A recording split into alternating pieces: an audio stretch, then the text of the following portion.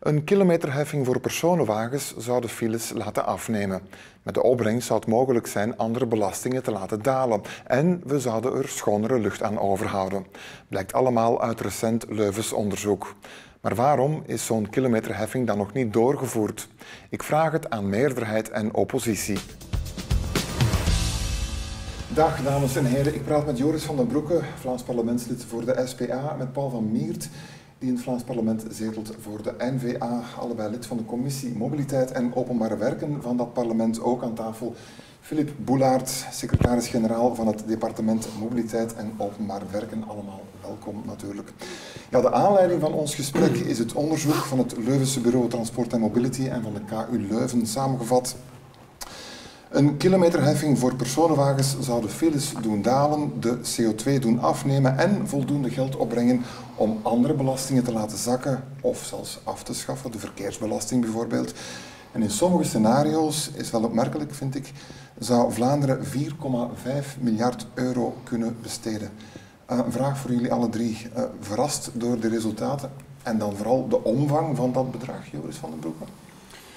Um, ik ben niet verrast dat uh, een kilometerheffing uh, potentieel positieve effecten met zich mee kan brengen. De stoet aan specialisten. Ja, maar goed, het bedrag is wel opmerkelijk, hè? 4,5 miljard. Ja, dus, dus inclusief ook de externe baten, zoals uh, minder uitstoot, minder files, allee, onrechtstreekse uh, positieve baten zijn daarin meegerekend. Ik verschiet daar niet van, omdat dat ook strookt nee. met uh, uitspraken van andere specialisten die bij ons in de commissie al gepasseerd zijn, met wie we al van gedachten hebben gewisseld daarover. Ja, Paul van Miert, ja. hoe is dat bij u aangekomen? Het bedrag lijkt mij redelijk hoog ingeschat. Uh, maar zoals de collega al zegt, er zijn ook nog andere factoren meegenomen. Maar we hebben dus bijvoorbeeld uh, deze week, wij zetelen ook samen in de commissie Financiën, hebben wij gezien dat de vrachtwagen kilometerheffing uh, 444 miljoen euro heeft opgebracht. Dus ik denk als we dan gaan extra, extrapoleren van het aantal vrachtwagens en het aantal personenwagens, dan denk ik dat je ongeveer tot een goede schatting zou kunnen komen. Dus ja, ik denk en wat dat doet de administratie met zo'n rapport? Wel, eerst en vooral het bedrag verwondert mij ook niet echt. Zeker niet als je weet dat het hier over alle weggebruikers gaat, over alle wegen gaat. En dat het over een tarief gaat van 12,5 cent per kilometer, wat toch niet onaanzienlijk is als je begint te rekenen natuurlijk. Hè. Wat wij daarmee doen, dit is voor ons een element dat wij meenemen in een veel bredere studie die wij moeten opzetten naar de invoering van een wegenheffing voor lichte voertuigen toe. Ja, daar is die, die studie waar de minister al naar verwezen heeft. Ik verwacht die in het voorjaar 2019 Klopt. om de heffing in te voeren. Wel, om dan een beslissing te nemen of er een go-no-go zal zijn om een heffing in te voeren. Deze studie moet dat voorbereiden en moet aan de regering alle elementen geven om een invoering al dan niet te beslissen. Ja, nu ik vraag me soms af, uh, want niemand is verrast uh, van de impact. Um, minder lasten, minder files, betere lucht. Als niemand verrast is, waarom bestaat die kilometerheffing vandaag nog niet, Paul van? Uh, ik denk dat er een vrij groot draagvlak is binnen de beleidsmakers. We hebben al herhaalde debatten gevoerd. Kijk, een extra argument voor mijn vraag, waarom is het er nog niet? ik denk, dat is dan een persoonlijke titel, ik denk dat we vooral moeten oppassen om niet direct het systeem, en dat hebben we in de commissie ook al vaak besproken, het systeem gaan invoeren zoals het nu bestaat voor vrachtwagens. Dat deugt um, niet? Dat deugt wel, maar het is een, een systeem van zijn tijd. Ik denk niet dat we nu nog moeten gaan beginnen met zwarte doosjes in personenwagens gaan plaatsen, mensen onder poortjes laten rijden. We hebben het net in de kleine voorbespreking gehad over Waze, alle moderne middelen die wij al hebben, de moderne digitale middelen. Uh, en ik denk dat we daar naartoe moeten gaan. We zien bijvoorbeeld uh, vorige week ook dat Europa in het kader van Europe on the Move zijn derde mobiliteitspakket heeft voorgesteld waar ze vanaf 2020 in nieuwe wagens allerlei technische rijhulpmiddelen, veiligheidsmiddelen gaan inschakelen. Dus ik denk dat dat het moment gaat zijn dat wij die wagen en de infrastructuur die erin zit kan gebruiken door GPS van waar hij zich bevindt. En dan zal je... Maar als we daar moeten op wachten tot iedere Vlaming een nieuwe wagen heeft gekocht, dan gaat het nog heel lang duren. Hè? Ja, acht jaar. Maar, acht jaar. Mm -hmm. Acht jaar gemiddeld. Ja. Hebben we de tijd om daarop te wachten? Ik, ik, ik, ik lees deze week dat uh, Brusselse bedrijven moeite hebben om... Enfin, ze kunnen mensen recruteren, maar er gaan er meer weg dan er, uh, dan er aangeworven worden, omdat bedrijven het niet langer zien zitten om hun personeel in de file te zien staan. Wel, wat de kilometerheffing zelf betreft, zijn we de eerste in Europa die zo ver gaan met de studie. En zijn we de eerste die zo ver willen gaan ja. met de, het bekijken van het invoeren van zo'n heffing voor alle voertuigen. Dus wat dat betreft zijn we zelfs voorlopers. Wachten is dat dus niet echt. Twee, Goed acht jaar. twee, die acht jaar die gaan natuurlijk niet voorbij zonder dat er iets gebeurt. Er wordt intussen wel degelijk geïnvesteerd. En daarbij wordt er geïnvesteerd in verschillende modi natuurlijk. Niet enkel in die auto, maar ook in openbaar vervoer, ook in waterwegen. Zodat we toch al een delen antwoord kunnen bieden op die mobiliteitsproblemen die er inderdaad zijn vandaag. Ja. Joris van der Broek, hoe vindt u dat, uh, dat het gaat of mag het nog een beetje sneller gaan? Ja, van wat mij betreft mogen de files morgen opgelost worden natuurlijk. uh, maar die, wonder, die wonderoplossing bestaat er niet. Ik vind dat er eerst, allee, ik, ik, heb, ik heb de resultaten van de studie bekeken, maar ik vind dat er ook nog een aantal andere vragen moeten beantwoord worden. En dat zijn politieke keuzes die moeten gemaakt worden. Ik vind bijvoorbeeld dat over de invoering van een kilometerheffing, mensen laten betalen voor het gebruik van de weg, dat er maar sprake van kan zijn als ook de focus van ons investeringsbeleid, voordat we die kilometerheffing invoeren, radicaal verandert. Ik begrijp bijvoorbeeld niet dat uh, vandaag minister Wijs nog 63 miljoen euro investeert in de aanleg van bijkomende spitsstroken. Dus hij vergroot de capaciteit van het snelwegennet op dit moment om dan via een kilometerheffing te proberen om nog verkeer ervan af te krijgen en te laten overstappen op de alternatieven. Ja, dan moet je nu wel investeren meer in de alternatieven en niet meer in een verdere uitbreiding van het wegennet, want anders zijt je aan het werken aan een platte belastingsverhoging en dat zie ik bijvoorbeeld niet zitten. Dus er zijn eerst nog een aantal politieke knopen door te hakken, ook bijvoorbeeld over de opbrengsten van die kilometerheffing. Waar gaan die naartoe gaan? De kilometerheffing voor vrachtwagens, daarvan gaat de opbrengst naar de algemene middelen van de begroting. En is er een deel voorbehouden voor investeringen in het hoofdwegennet en voor maatregelen voor de vrachtwagensector. Ben, ben je het eens met de, met de vrachtwagensector die na het recente incident in de Kennedy-tunnel zei ja, dit is het gevolg van die keuzes. Hè. Eigenlijk moest, uh, moet, moet, moet hier meer geld naar investeringen in het weg in de weginfrastructuur de, de, de, de, Het investeringsbudget voor de wegen is met 30% gestegen uh, deze legislatuur. Er, wordt nog, er is nog nooit zoveel geïnvesteerd in wegen als vandaag. Alleen vind ik dat de focus van de investering moet liggen op onderhoud, moderniseren, het, het verbeteren van het bestaande wegennet. En dat we geen geld moeten weggooien naar het verder uitbreiden van de capaciteit. Want dat zijn bijkomende ja. betonstroken, ik wil, ik wil, zijn ik wil, bijkomende ik wil, kosten. Ik wil de partijgenoot van minister Wijs mm laten op reageren. Ja, um, wegen uitbreiden, extra stroken aanleggen en tegelijkertijd inspanningen doen om mensen van de weg te houden, is een beetje contradictorisch, ik vind, hier. Nee, ik vind dit een beetje een, een, een, stelling die een beetje naar de ene kant getrokken wordt. Als we zien wat men in Nederland gedaan heeft aan extra investeringen op de weg, daar hebben we duidelijk de resultaten van kunnen zien. Ik denk dat er nood is op dit moment aan extra weginfrastructuur. Wat, wat en die zal er ook in de toekomst zijn, want het aantal vrachtwagens gaat... Wat tonen die Nederlandse resultaten aan? Dat er beter kan gereden worden op bepaalde stroken. Jawel, Joris, dat is een, dat is een, een, een duidelijk gegeven. Maar goed, is, is, is, is toch niet een beetje contradictorisch te noemen? Dat, je, dat je extra wegen aanlegt, maar tegelijkertijd probeert mensen van de weg te houden. Contradictorisch. De mensen die er nu op zitten, die moeten ook met hun voertuigen weg kunnen. En het vrachtvervoer zal nog stijgen. Als onze economie goed draait, zal het zeker nog meer stijgen. Dus we gaan daar toch ergens nog aan extra weginfrastructuur moeten gaan investeren. Dat, is, dat staat buiten kijf. Het rekeningrijden, zowel voor vrachtwagens als voor personenwagens, is één van de middelen om die file te bestrijden. Het is geen wondermiddel, hè? net zo min als dat openbaar vervoer dat is, als file mijden dat is, als extra infrastructuur dat is. We hebben altijd gesteld binnen onze fractie dat het een korf moet zijn aan maatregelen, aan maatregelen om die file niet alleen te verminderen, ja. maar, maar, maar duidelijk naar beneden te goed, gaan. Goed, en die ik, kilometerheffing... we, stellen wel, we stellen wel vast dat ondanks die korf we elke dag stilstaan. Hè? Maar het, het, het, verkeer groeit ook steeds aan. Hè. Je kan daar niet in toveren. Hè. Daar zijn geen wondermiddelen in. Hè. Wordt dat geteld, Philip Boulaert? Wordt wat geteld. Wordt dat geteld? Het verkeer groeit steeds aan, hoor ik hier zeggen? Het verkeer wordt jaarlijks geteld, ja, wordt zelfs dagelijks geteld. Dus wij zien inderdaad een aangroei van het verkeer. Wij verwachten ook een verdere groei van het verkeer, zowel van het, uh, van het vracht- als autoverkeer, als van de binnenvaart, als van, uh, als van het gebruik van het openbaar vervoer. Ook het gebruik van de trein bijvoorbeeld neemt al meer dan een jaar stelselmatig toe. Dus je ziet dat er meer verplaatsingen worden afgelegd dan vroeger, dat is een feit. Ja, een korf is nodig, uh, Joris van den Broeke. Een korf aan maatregelen. Ja, met een kilometerheffing alleen gaan we er natuurlijk niet geraken. Uh, dat is precies mijn pleidooi. Als we ervoor willen zorgen dat via een kilometerheffing dat we mensen prikkelen om niet meteen reflexmatig de wagen te nemen voor al een verplaatsing, wat vandaag te veel uh, gebruikt. Die staat voor de deur, liefst volgetankt. Je begint te rijden, je voelt dat niet in je portemonnee. Terwijl op het moment dat je rijdt en je een bedrag per kilometer uh, betaalt afhankelijk van het tijdstip, ja, dan zou je misschien als kunnen de afweging maken, ga ik voor de alternatieven. Maar dan moeten die alternatieven er ook wel zijn. Meer en, beter. Ja, voor heel veel Vlamingen zijn die onvoldoende. Want Ehm, bijvoorbeeld, onze ruimtelijke ordening is een, eerder een wanordning in Vlaanderen.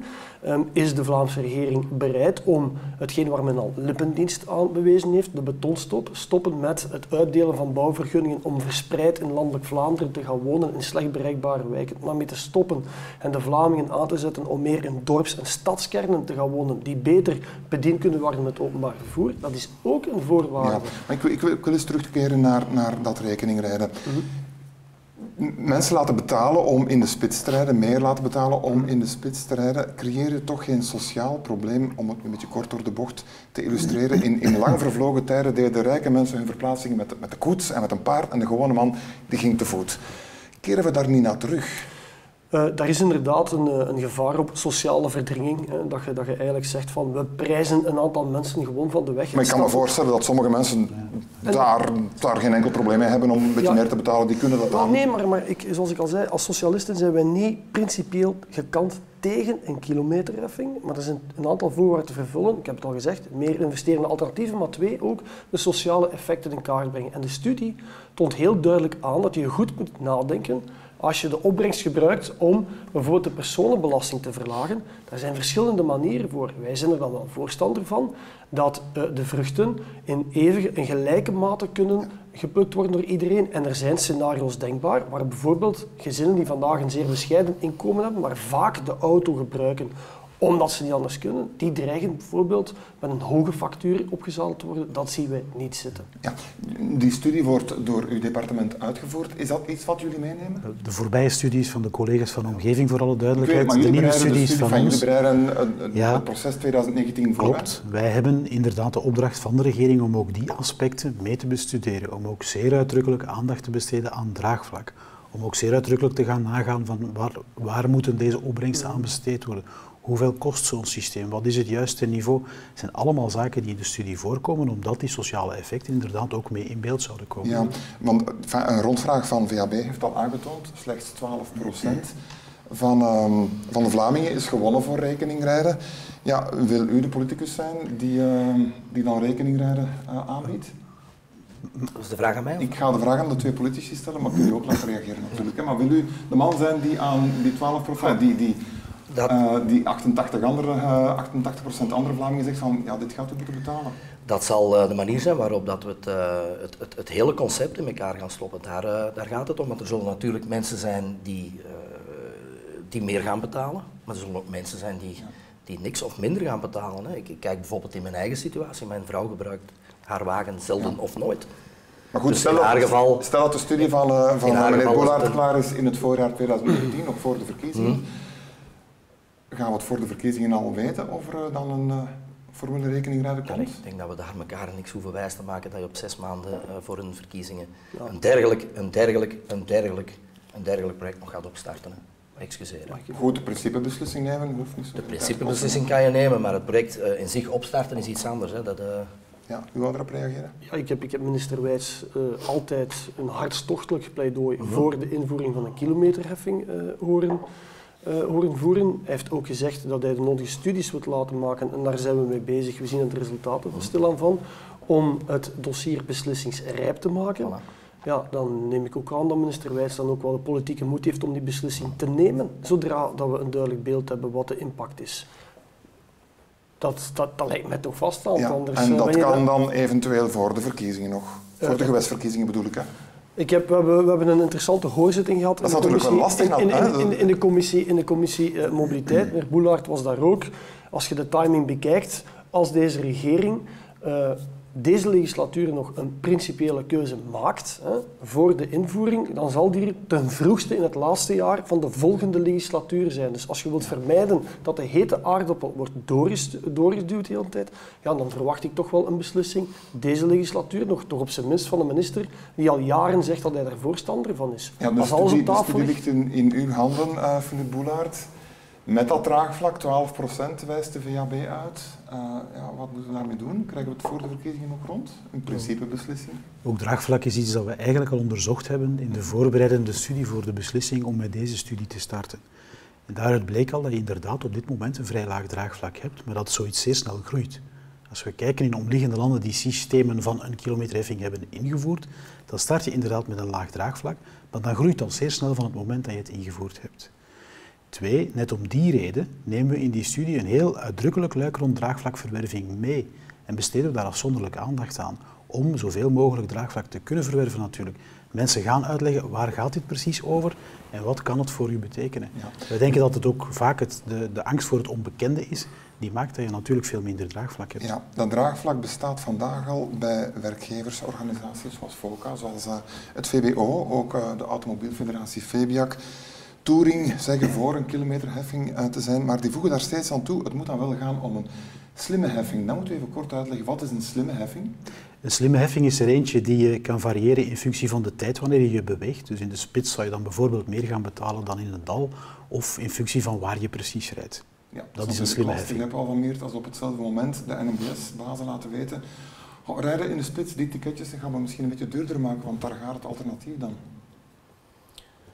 Goh, ik denk, allez, ik denk, we zijn hier nu aan het discussiëren over, uh, over een aantal zaken die, uh, die nog moeten vastgesteld worden. Dus ik, ik, zou, ik zou daar gewoon... Nee, maar ik hoor iedereen zeggen, dat, u zegt het is een korf, u zegt van er moeten alternatieven zijn. Ja, alternatieven zijn natuurlijk openbaar vervoer. Hè. En ons land is wat het is. Sommige dingen zitten federaal, andere dingen zitten... zitten bij de regio's, maar het moet er wel zijn natuurlijk. Ik denk, ik denk dat bijvoorbeeld in het openbaar vervoer, en dan kan ik alleen maar spreken over het luik dat bij ons zit in Vlaanderen, uh, dat de lijn naar investeringen toe deze legislatuur echt niet mag klagen. Hè. Er is heel veel geïnvesteerd in nieuw materiaal, in extra materiaal. Dus wat wij vanuit Vlaanderen daarin kunnen doen, wordt, wordt effectief uitgevoerd. Ook als het gaat over het kleine stukje Vlaamse spoorstrategie dat we dan in het totale pakket hebben, uh, probeert onze minister en, en de andere collega's ook een stempel te drukken. Dus die wil is daar zeker. Um, maar ik vind dat het is een heel uh, ingrijpend dossier voor heel de bevolking. Uh, voor alle lagen van de bevolking. En ik vind dat we daar niet te lichtzinnig mee moeten omgaan. En uh, er wordt nu zo precies gedaan van oké, we hebben nu dat onderzoek en we gaan dat eens snel invoeren. Nee, dat kan je niet zomaar snel invoeren. Ik denk dat we daar heel, heel goed mee moeten omgaan, zowel naar de gevolgen voor de mensen die elke dag een wagen nodig hebben om te gaan werken en hoe gaan we die dan vergoeden en zowel naar de werkgever toe, want die gaat natuurlijk ook de klop op de deur krijgen van zijn werknemer die zegt van ja, ik heb geen alternatief. En in sommige gevallen zijn er ook geen alternatieven. Ja, goed, dat wordt allemaal bestudeerd. Dat wordt bestudeerd. Dat gaat klaar dus... zijn in 2019. Ik wil nog even terugkeren op die slimme heffing. Afhankelijk van het tijdstip hoor ik uh, Philip Boulaert zeggen.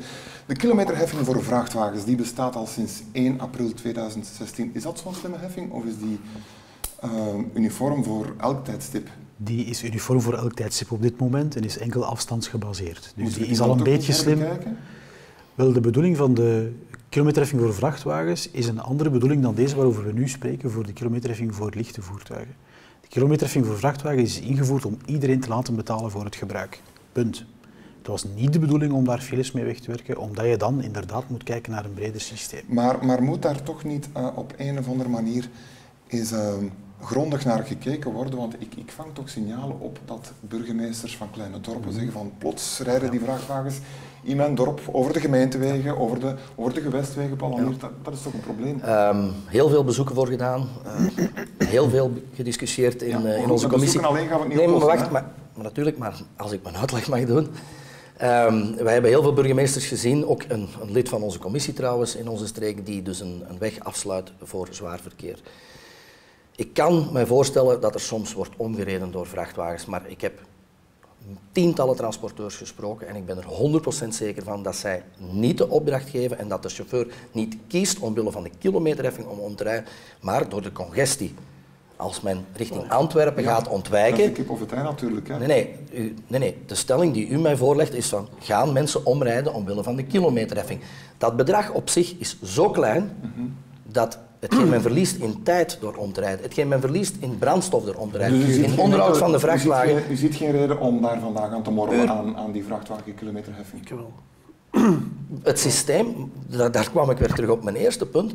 Wacht nu even met te zeggen van wij gaan overal van die onboard units in auto's zetten en dan gaan we ook door die poorten rijden. Dan zit je met hetzelfde.